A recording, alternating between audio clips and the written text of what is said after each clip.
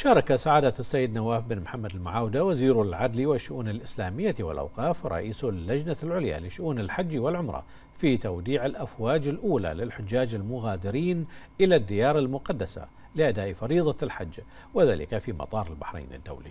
جاء ذلك بحضور فضيلة الشيخ عدنان بن عبد الله القطان رئيس بعثة الحج.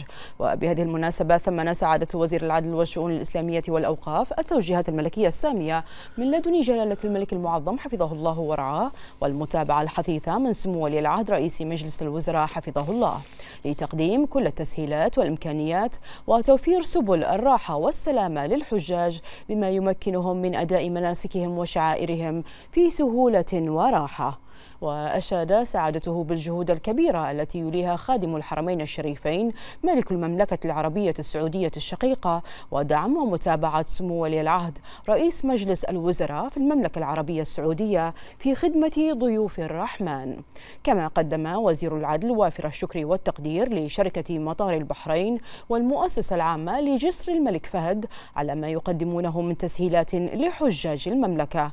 وقال سعادته إن أبواب بعثة مملكة البحرين للحج مفتوحة أمام كافة الحملات البحرينية على مدار الساعة لافتا إلى أن البعثة تضم في لجانها نخبة من الكوادر الوطنية المؤهلة من الكفاءات من مختلف الوزارات.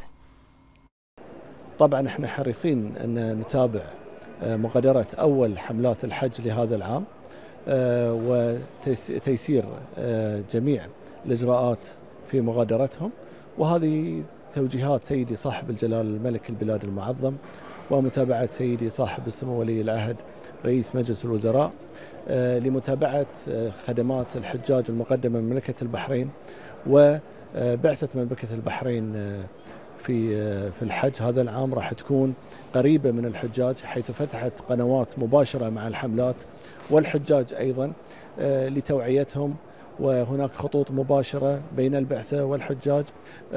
حرصت أيضا اللجنة العليا بتوعية الحملات على الإجراءات الجديدة التي طلبتها مملكة المملكة العربية السعودية. وقدمت أيضا خطوط الاتصال الخاصة بكل الإجراءات تعني بسلامة الحجاج من النواحي الصحية والأمنية. والمتطلبات السلامة الخاصة بهم لهذا العام. ونحن حريصين بتوعيتهم بالالتزام بالضوابط والقوانين في مملكة العربية السعودية. ونتمنى لحجاجنا هذا العام حج مبرور وذنب مغفور ورجوع إلى بلادهم سالمين قانونين إن شاء الله. باسمي وباسم أعضاء مملكة البحرين للحج وجميع حجاج مملكة البحرين نتقدم بالشكر والتقدير لجلالة الملك المعظم حمد بن عيسى حفظه الله ولسمو ولي العهد رئيس مجلس الوزراء على ما يقدمونه الحقيقة من دعم كبير لحجاج مملكة البحرين من أجل تقديم أفضل الخدمات لحجاجنا في المملكة. الشكر والتقدير لهم على ما على هذا الدعم الكبير. أيضا نشكر خادم الحرمين الشريفين وحكومة المملكة العربية السعودية على ما يقومون به ويقدمونه لحجاج العالم من خدمات جليلة سنوية في المشاعر في مكة وفي المدينة وجميع المشاعر ونشاهد هذا التطوير المستمر في في الحج سنويا.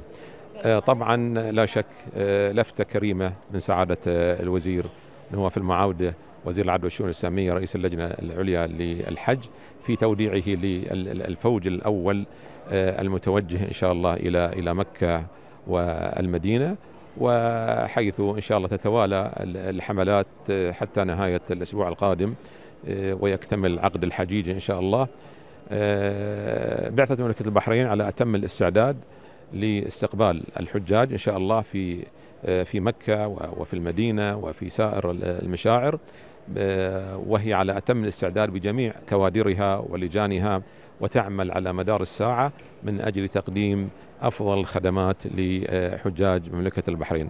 نسأل الله سبحانه وتعالى أن يتقبل من الحجاج حجهم وأن يؤدوا حجهم بكل يسر وسهولة ويتقبل الله منهم إن شاء الله حجهم.